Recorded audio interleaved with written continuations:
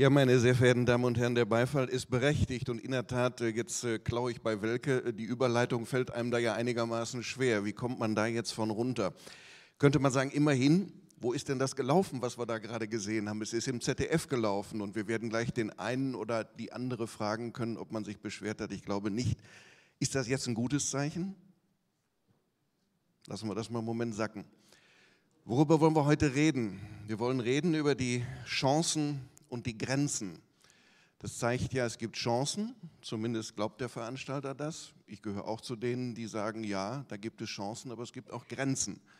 Und ich glaube, wir werden heute versuchen, das mal auszuloten. Allerdings will ich eines sagen, und äh, Jupp Le Grand hat auf äh, den Kollegen Brender hingewiesen, den wir gerade noch mal gehört haben, und ich glaube, da ist wenig hinzuzufügen. Wir wollen ja heute keine Brender-Veranstaltung machen und wir wollen auch nicht ausschließlich über das ZDF-Verfahren reden, so wichtig das ja ist. Ich glaube, der öffentlich-rechtliche Rundfunk, und als jemand, der da auch schon ein paar Tage unterwegs ist, wissen wir, steht vor gewaltigen Herausforderungen. Wie können wir das neu zumessen angesichts der rasanten technischen Entwicklungen, der Veränderungen im Verhalten der Menschen, genau das zu tun, wofür wir ja eigentlich mal angetreten sind und wofür wir als diejenigen, die im System arbeiten, sagen, ja, deshalb ist es auch richtig, dass das öffentlich finanziert wird auf der einen Seite den öffentlichen Diskurs abbilden in der Breite der gesellschaftlichen Diskussion, Klammer auf, wer definiert das dann? Und zweitens Realitäten abzubilden und nicht Wunschbilder darzustellen. Genau das ist, glaube ich, das Spannungsfeld, in dem wir uns bewegen sollten, zumindest als Herausforderung. Ist ganz einfach mit so zwei Sätzen zu formulieren. Und wie machen wir das in der Praxis? Und da haben wir einiges zu diskutieren. Und das werden wir heute tun. Wie Sie meisten das von mir kennen, die mich schon erlebt haben, werde ich Ihnen diejenigen, die hier gleich mitdiskutieren, einzeln vorstellen. Wir werden alle hier ein kleines Gespräch führen, dann nehmen die Platz da in der Runde und dann haben wir uns verständigt, dass Sie ausreichend Gelegenheit haben sollen, sich zu beteiligen, wenn wir darüber diskutieren, welche Chancen gibt es und äh, welche Grenzen der Kontrollgremien denn vielleicht für die Zukunft wichtig sind. Als erstes freue ich mich, dass Fritz Wolf, der schon angesprochen ist, bei uns ist. Ich bitte ihn zunächst auf die Bühne für den Auftakt und ich sage noch einmal herzlich willkommen und auch danke jetzt schon vorab für die wichtige Arbeit, die er geleistet hat. Fritz Wolf. Jetzt fangen wir doch mal an in Karlsruhe. Sie sind dort gewesen in Karlsruhe. Wenn man das sacken lässt, eine Woche ist es her. Gucken Sie nicht auf Ihren Zettel. Was ist das, was ist das Wichtigste, was Ihnen hängen geblieben ist? Äh, das Wort einer Richterin. Ähm, und sie hat gesagt, äh, und das ist, könnte, es könnte fast der Titel eines, eines Romans von e-, Elias Canetti sein, sie hat gesagt, sie habe das Gefühl, sie habe es hier mit einer Kleinredung zu tun. also abgesehen davon, dass es ein Unwort ist, ist es wichtig. Ja, äh, es ist, äh, es ist natürlich, es ist Juristendeutsch, sie hat es irgendwie nicht anders hingekriegt. Ähm, was ich ich habe das mal im Volontariat gelernt, also diese Unworte sind eigentlich zu vermeiden, eine Speisung zur Durchführung bringen. Aber lassen wir das. Aber Richter machen ja keine Volontariate, die sprechen ja Amtsdeutsch. Äh, und was ich damit meinte, war der Auftritt der Politik vor dem Bundesverfassungsgericht. Und das fand ich selbst auch sehr, sehr eindrucksvoll, wie es, also speziell die konservativen Vertreter aus dem, also die, aus, dem, äh, aus dem politischen Spektrum der Konservativen, wie die versucht haben, sich ganz klein zu machen. Immer nur zu sagen, nein, also wir, wir üben wirklich keinen maßgebenden Einfluss ein. Nein, das haben wir auch gar nicht im Sinn. Nein, das, äh, wir nehmen uns da zurück und die politischen Freundeskreise, ach wissen Sie, nachher wir tagen alle im gleichen Hotel und abends Abend sitzen wir alle zusammen und nachher wissen dann sowieso die einen, was die anderen beschlossen haben. Also eigentlich ist es mehr freundschaftlich. Kurz, Sie haben Polit den politischen Einfluss dermaßen klein geredet, dass da so der Richter in der Kragen geplatzt ist und sie dann zu diesem Wort Kleinredung gegriffen hat. Das hat mich sehr beeindruckt, dass Politik sich so klein machen kann, wenn man irgendwie dabei ist, sie gerade am Schlawittchen zu erwischen. Kommen wir mal zu dem, was Sie ja in Ihrer Arbeit im Wesentlichen äh, herausgefunden haben, äh, der öffentliche Auftrag. Ähm, fangen wir da mal mit an. Zunächst mal, dass die Gremien da sind, hat eine historische Bewandtnis und ist auch bei aller Kritik nicht ganz schlecht, dass wir uns da mal dran erinnern, oder? Also ich finde, das, ich finde das sehr wichtig, dass man sich daran erinnert, dass diese Gremien einmal entstanden sind als eine Reaktion auf staatlich gelenkten äh, Journalismus, als, eine, als der Versuch, ein Rundfunksystem äh, zu, äh, ein Rundfunksystem zu etablieren, das dem staatlichen Einfluss ganz klar entzogen ist äh, und da er diese Konstruktion gefunden hat. Wie sich dann sehr schnell herausgestellt hat, hat die Politik sehr schnell begriffen, welche Chancen in diesen Gremien sind. Es gibt da so eine kleine Episode, äh, dass ähm, als, als NDR und WDR noch beisammen waren, äh, hatte der, hatte der äh, Hugh Green damals eingesetzt äh, vier Funktionen. Es sollten, es sollten vier Wissenschaftler die Universitäten repräsentieren. Da gab es dann eine ziemliche Diskussion hin und her. Ergebnis dieser, dieser Diskussion, erstens die Anzahl der Gremienmitglieder wurde erhöht. Zweitens, anstelle der Wissenschaftler wurden Vertreter der Wissenschaftspolitik äh, nominiert und ein paar Monate später saßen vier Wissenschaftsminister im, Gremien, im Gremium. Also das war schon sozusagen, das ist das Grundmuster, was über viele Jahre lang geblieben ist, dass die Politik äh, über, über, gerade über die Gremien versucht, den Einfluss zu nehmen. Das war, das war in manchen, zu manchen Zeiten war das sehr, sehr direkt.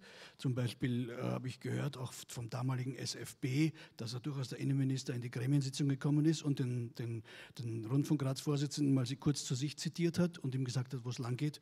Äh, alle, Gremien, alle Gremienmitglieder haben gelacht, aber das muss sehr direkt gewesen sein. So, lange Rede, kurzer Sinn. Äh, diese, die Geschichte der Rundfunkräte reicht weit zurück hat einen demokratischen Sinn. Und kann man sagen, die Medien verändern sich, die Medien wandeln sich. Äh, vielleicht ist es doch nicht mehr das richtige Modell. Es gibt ja auch andere Modelle, auch die BBC. BBC pflegt ein anderes Modell. Ich bin. Ich, ich Ihnen dazwischen. Sie haben gerade gesagt, die Medien verändern sich und die wandeln sich. Inwiefern ist das wichtig für unsere Diskussion hier? Das ist insofern wichtig, als die Aufgaben der Rundfunkräte äh, komplizierter werden, komplexer werden, umfangreicher werden. Äh, gutes Beispiel war dieser berühmt-berüchtigte Drei-Stufen-Test, über den Sie, soweit ich weiß, in allen Gremien äh, gestöhnt haben. Da ist eine Aufgabe auf Sie zugekommen, die, die gab es vorher nicht. Sowas, ist, sowas war bei, den, bei der Gründung nie angedacht, dass es, dass es solche äh, Diskussionen geben wird um die Frage, wie regeln wir die Internetauftritte der Sender. Und da hat sich auch herausgestellt, dass für die Gremien eine ganz wichtige Frage ist, wie qualifizieren wir uns weiter? Wie qualifizieren wir uns so weit, dass wir den sich verändernden Medienverhältnissen wenigstens halbwegs auf der Spur bleiben können? Äh, und, und wie holen wir uns Expertise ins Haus? All diese Fragen äh, äh, sind natürlich jetzt mit dem Medienwandel verbunden. Das heißt, die geschichtliche Reminiszenz alleine dass es ein, ein, demokratisches Grundgut ist, das man nicht ohne Not aufgeben sollte, ist die eine Seite. Die andere Seite, dass die Medien sich, die Gremien natürlich sich mit den Medien mit verändern müssen, ist die andere.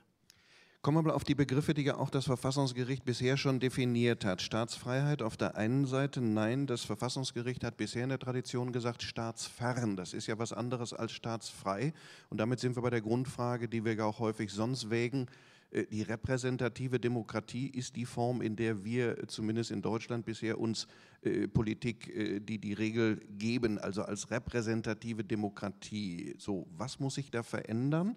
Staatsfreiheit, Staatsferne, wie ordnen Sie das zu angesichts der aktuellen Diskussion? Also ich glaube, da werden wir ganz präzises nachher doch von Professor Gerstorf hören. Staatsfreiheit ist eigentlich der Begriff, äh, um den es geht. Staatsferne ist der politische Begriff, der dazu gefunden wurde, um die Staatsfreiheit nicht ganz so ernst nehmen zu müssen. Ähm, also Staatsferne äh, ist dann der Begriff, der zu dem Zustand führt, auf dem wir heute sind, am Beispiel ZDF, dass wir äh, nicht über die Frage diskutieren, ob oder ob nicht, sondern wie viele und wie viele nicht wie, viele, wie, viel Polit, wie viel Staatseinfluss darf in den Gremien sein, personell umgesetzt, in, man wird sehen, was das Verfassungsgericht da herausfindet, äh, und nicht mehr die Frage, ob überhaupt. Sie haben gerade andere Modelle angesprochen. Wenn Sie überhaupt andere Modelle nehmen, was ist denn, was wäre denn praktikabel? Oder sagen Sie, naja, vorsichtig, da schüttet man dann auch das Kind mit dem Bade aus? Also das ist auch wirklich eine, eine, Frage auch der politischen Entwicklung. Es ist natürlich ein Modell denkbar, äh, ein stärker professionalisiertes Modell wie die BBC, wo nur wenige dafür bezahlte Fachleute die Medienkontrolle ausüben.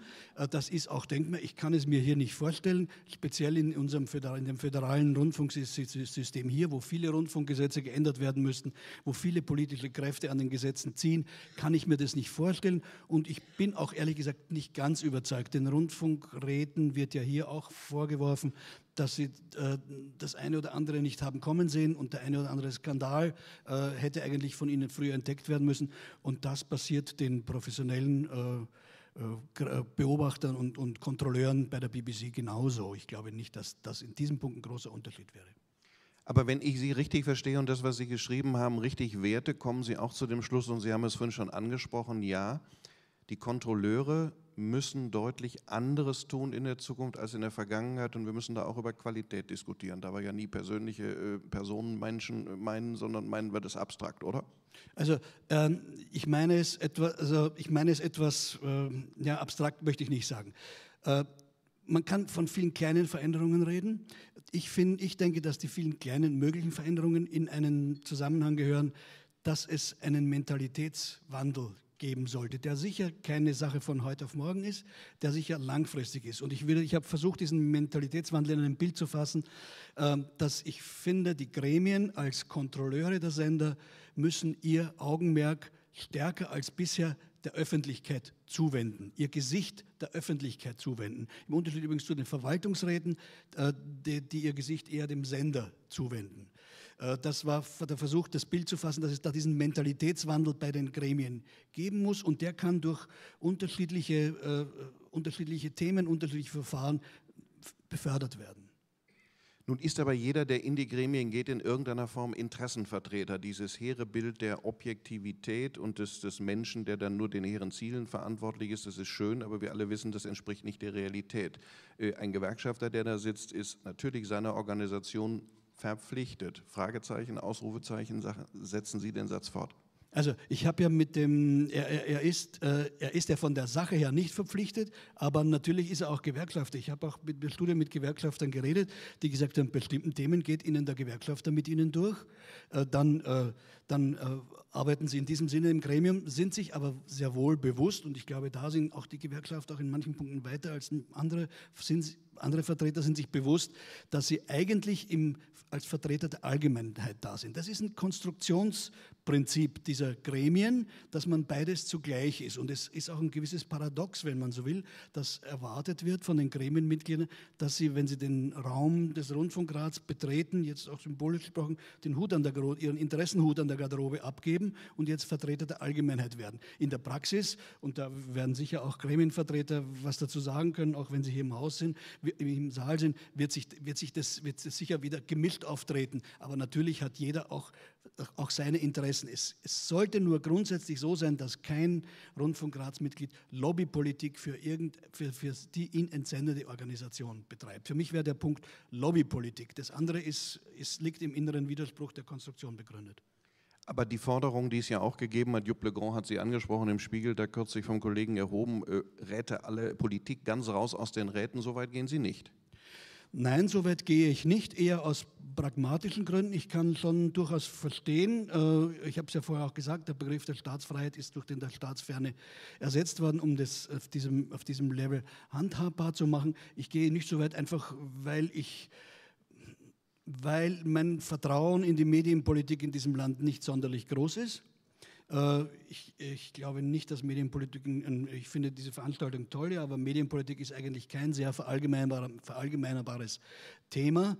Äh, und da wird auch Bewegung, äh, das ist auch ein relativ unbewegliches System. Und deswegen glaube ich, dass der Weg, die über, über die Gremien, mit den Gremien, über die Reformschritte zu sprechen, die möglich sind, um den Einfluss speziell der gesellschaftlichen Gruppen anstelle des Einflusses der Politik zu stärken, dass man da auf diesem Weg politisch ein Stück weiterkommt als mit großen Fensterreden.